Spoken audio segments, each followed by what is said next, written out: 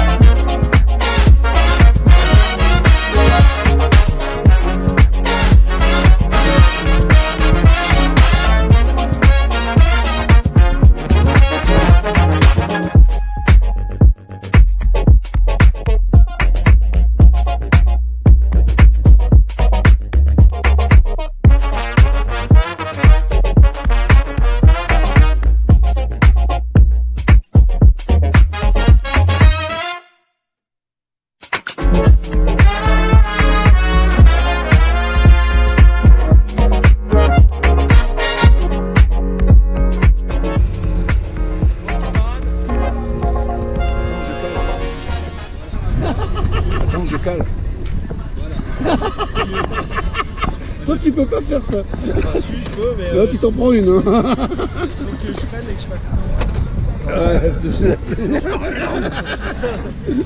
Sinon, je finis dans le décor. Ouais, ça envoie la musique, tu vois, c'est... Ça vaut pas mieux le coup de le bruit du vent, le souffle du moteur qui te transporte.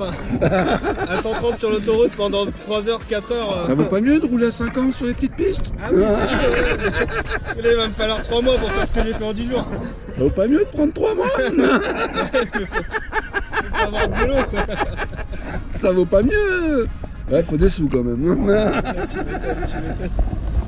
Ouais, c'était un plaisir, hein, franchement. Check, man. Avec grand plaisir. Si tu passes sur Paris, n'hésite pas. Là, tu crois que je vais monter à Paris, mais je crois qu'il a pas bien compris. On a des, on a des, des routes très jolies. Ouais.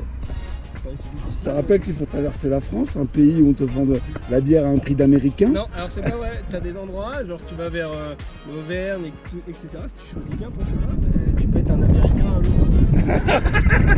l'eau. Est à 20%. hein. Bon, à la prochaine. À la prochaine pour les photos. Franchement, merci pour tout, c'était cool.